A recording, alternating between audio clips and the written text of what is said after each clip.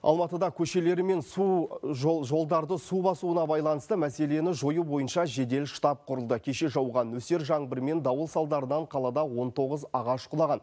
Тікелей эфирге қосылған әріптесім Жазира Ораз қызы соңғы жағдайды баяндайды. Жазира, қайырлы таң Алматыда қазір ауа райы қалай? Қайырлы таң Қонысбек, дәл қазір ауа райы жылы, күн шығып тұр плюс 17-18 градусты көрсетіп тұр дегенмен қазгидромет мамандары бүгін және ертең қатты нөсер болады деп болжаған және де демалыс күндері бұршақ жауы мүмкін деп ескертті. Кешегі ауа райының қолайсыздығынан топырақ шайылып ағаштардың түп тамыры босап кейбірі құлап та кеткен алматы қалалық құтқару қызметінің хабарлауынша бір автокөлік және бір үйді зақымдаған.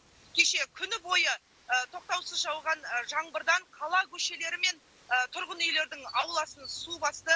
Қазір су тасқынын болдырмау үшін қалада жедел штаб құрылды және барлық жауапты мекеме қарқынды жұмыс істеп жатыр.